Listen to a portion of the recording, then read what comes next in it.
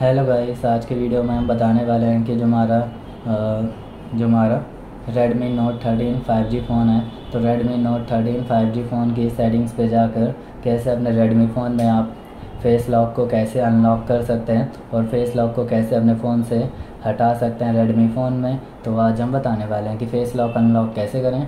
तो video start कर लेते हैं तो सिंपली आप देख सकते हैं आइकन शो हो रहे हैं। तो स्वाइप करना है स्वाइप करते ही ऑल आइकन ओपन सेटिंग्स पे जाना क्लिक करते ही सेटिंग्स से ओपन हो जाएगी। तो फेस लॉक को कैसे हटा सकते हैं? एंड आप रिमूव कर पाएँगे। तो आपको सिंपली पासवर्ड एंड सिक्योरिटी पे जाना है, फिर आपको फेस लॉक पे जाना है। फेस लॉक पे जाकर आप देखते हैं कि फेस लॉक को हटा पाएँगे या रिमूव कर सकते हैं। सिंपली पासवर्ड डाल देना है। एंड आप फेस सेटिंग्स पे जाते हैं तो फेस डाटा को यहाँ से रिमूव कर देना है डिलीट कर देना है। जिससे फेस लॉक आपके फ़ोन से हट जाएगा। तो इस तरीके से फेस लॉक को हटा सकते हैं। तो आपको वीडियो अच्छी लगी तो लाइक एंड सब्सक्राइब करें। तो मिलते हैं अगले वीडियो में। Thank you